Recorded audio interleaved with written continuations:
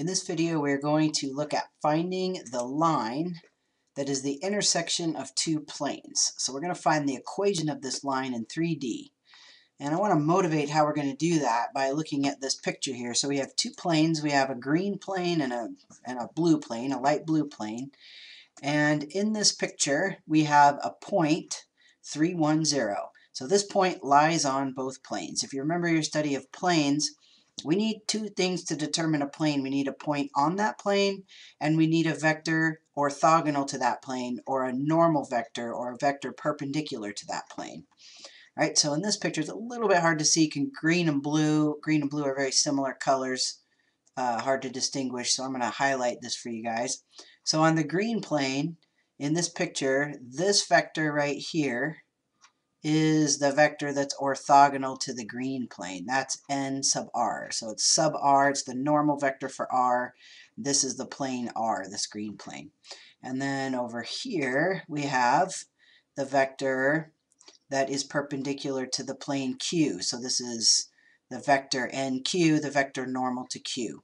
So the, the green vector is perpendicular to the green plane, and the the blue vector is perpendicular to the blue plane and then these little perpendiculars here. Okay, so what we want to find is the equation of this line. Now if you remember, in order to find the equation of a line, we need two things. We need a point on the line, great, and we need a vector parallel to that line. We need a vector parallel to that line.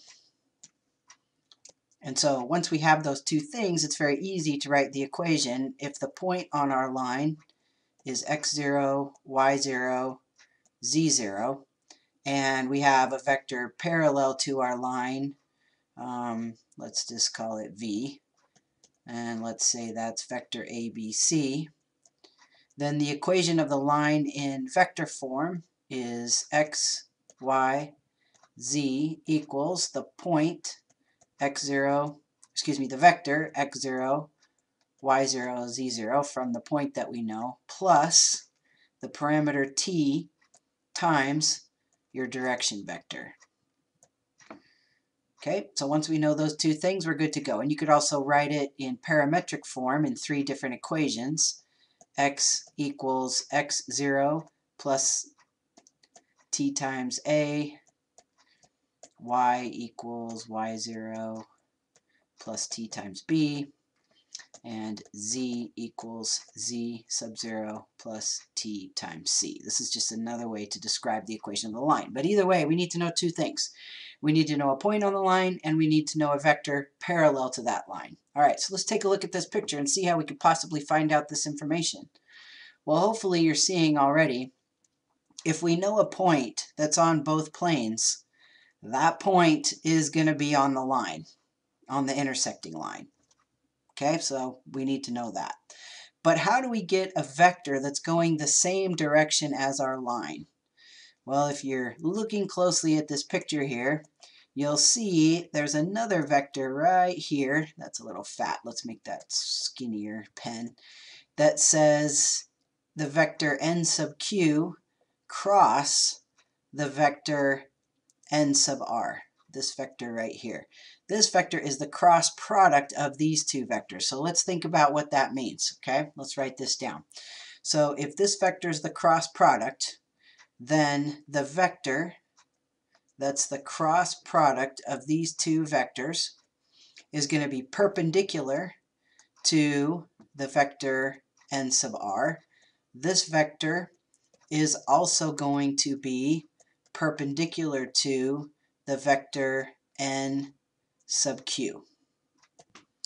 Now, since this line L lies in the green plane and the blue plane, then we know that the line L is also perpendicular to the normal vector for r, and it's perpendicular to the normal vector for q.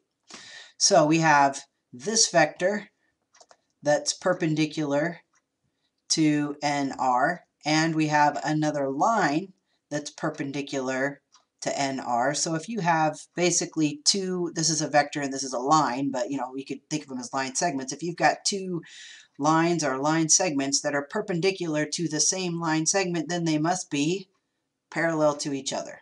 Right? If two things are perpendicular to the same thing, then they're parallel to each other. Let me draw that in two dimensions so you can kind of think about it. Like if you have some line like this, and I'm going to draw two different lines that are perpendicular to this. So here's a line perpendicular. Now I'm going to draw another line perpendicular to this, wherever I want, okay, like that. So if I've got two different lines perpendicular to the same line, then these lines have to be parallel to each other. And again, we're dealing with vectors, which are like pieces of line segments, but you know, by definition, they would be parallel to each other. They're going in the same direction. When we're talking about vectors and we're talking about parallel, we're not saying they don't intersect necessarily, even though they won't. But what we're really saying is they go the same direction when we're talking about being parallel. Okay, so that's how we're going to find our parallel vector. So therefore, thus, the vector created by looking at the cross product of your normal vectors is going to be parallel to your line L, and that's what we need. We need a parallel vector, right? We need a parallel vector V, and that's how we're going to find it. So this vector for V, we're going to find that by doing the cross product, almost out of space here, the cross product of the normal vectors for the planes. Okay, let's go where we have a little more space. Let's look at this example. We want to find the equation of the line of intersection of these two planes. So again, what do we need to find the equation of a line? Well, we need a point on this line. So in other words, we need a point that makes both of these equations true. We need a point that lies on this plane and a point that lies on this plane, therefore will lie in their intersection. And we need a vector that's parallel to our line. And so that vector is going to be the cross product of the normal vectors. We'll call it normal vector 1 cross normal vector 2. So let's say this is plane 1 and this is plane 2. This guy's plane 2. All right, so what's the normal vector for this plane? Well, it's right here, right? This gives you the direction. The coefficients right here give you the direction. So n1 is the vector 4, negative 2, 1. All right, and n2, it's going to be these coefficients. This constant over here doesn't affect the direction of the plane. So that's going to give me negative 1, 3, 4. All right, normal vector 2. Now, how do we find a vector that's parallel to our plane? So these two vectors here are this green vector and this blue vector from our diagram. So to get the vector that's parallel to our line, we need to find the cross product of those two vectors, and that vector will give us the direction of our line. Now, just as a little review, cross product is not commutative. We will get a, a different, a vector going a different direction if we cross these um, like that. It would, the, the vector would go the opposite direction, but it would still be parallel to our line. All right, so in with vectors, they're parallel if they're going the same direction or any scalar multiple of that, including negatives.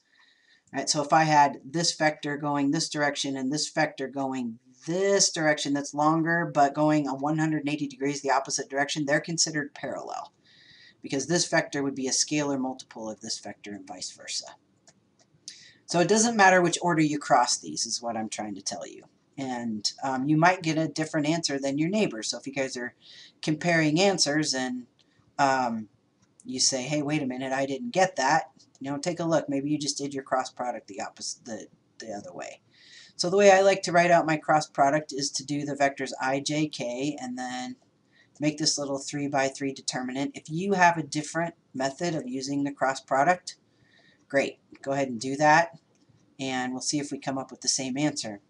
So just to review this, I like to um, cross these out, the I column and row, and then the 2 by 2 determinant that's left, we write that down. We're going to figure that out and multiply that by the vector i. And then we're going to subtract. You have to remember to subtract there. We're going to take out these pink things. Then we're going to cross out the row and column for j. and write that 2 by 2 determinant. So we've got 4, negative 1, 1, 4 associated with j plus, and then we're going to do the 2 by 2 determinant for k. Cross these out. Okay, so we've got 4, negative 1, negative 2, 3. Okay, so now for the determinant, we go negative 2 times 4 minus 3 times 1 minus 4 times 4 minus negative 1 times 1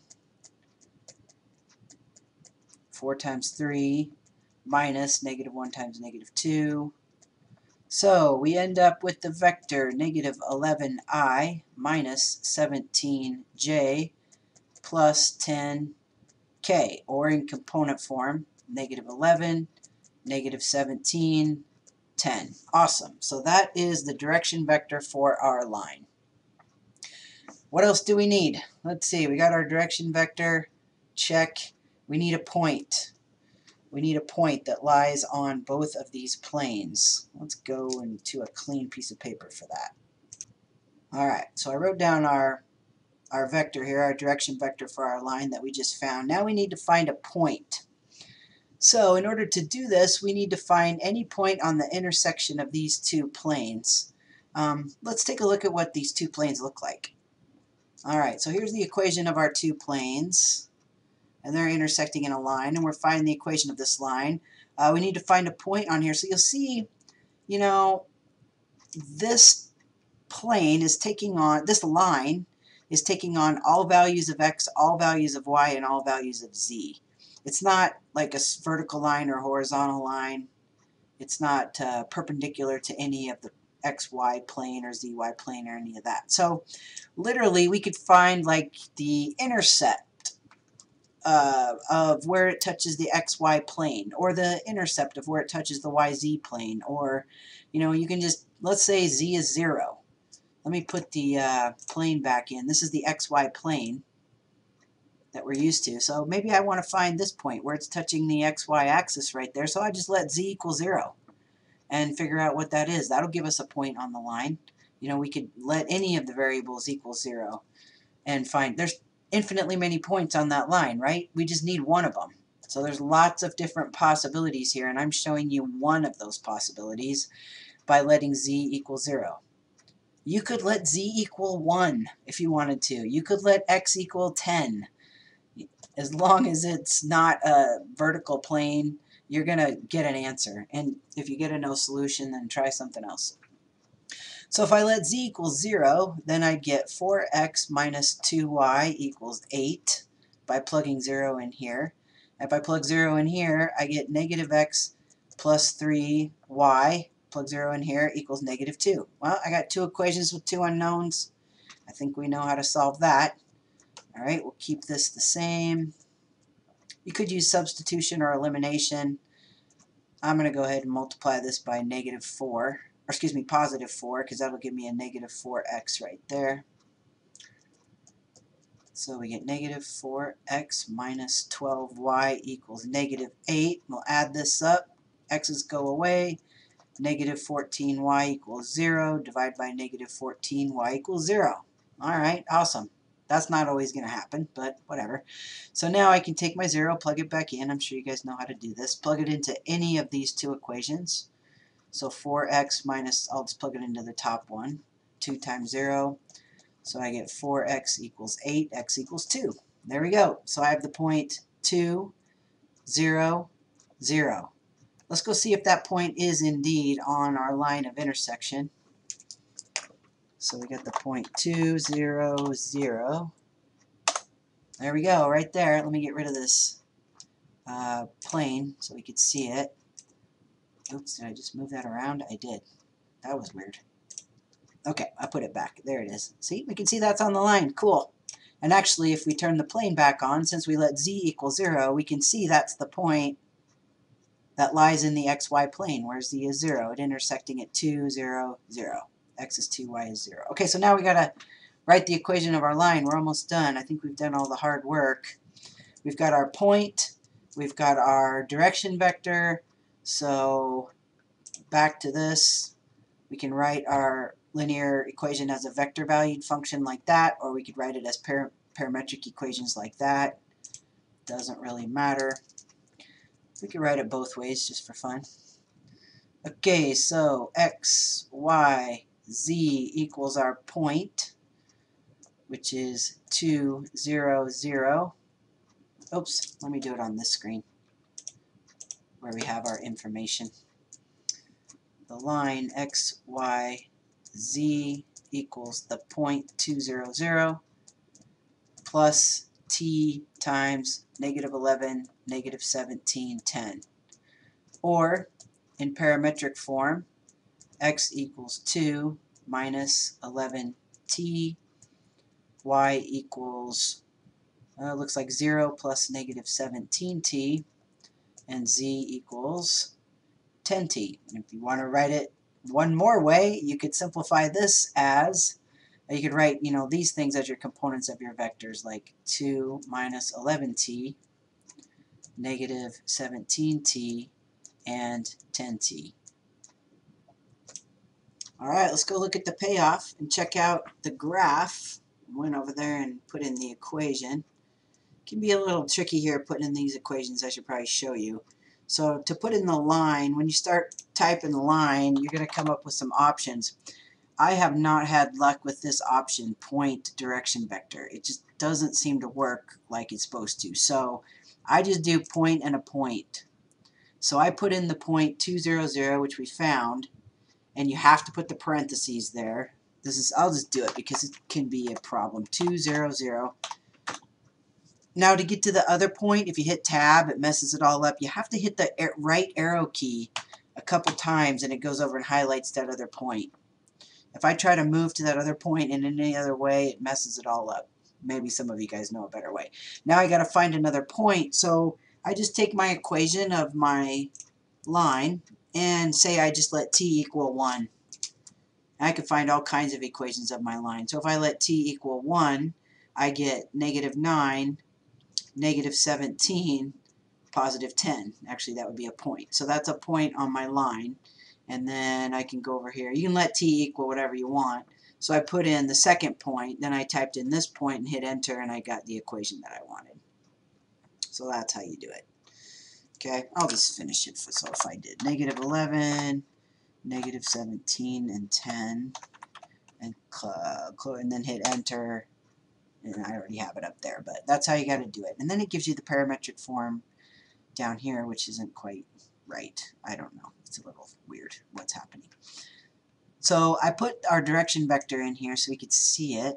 Oh, I must have typed something wrong. Let's just get rid of this. What did I type wrong? Let's just get rid of it. Okay. I just wanted to show you how to do that, mainly for keystrokes and how to manipulate the um, function that pops up for you. So I put our direction vector in here. That's our direction vector we found in standard position right here. See it? So we can see our line is parallel to that direction vector. And it is the intersection of those two planes. So we did it. Alright, I hope that helps. This particular problem gives you a lot of review of concepts that you've probably been working on.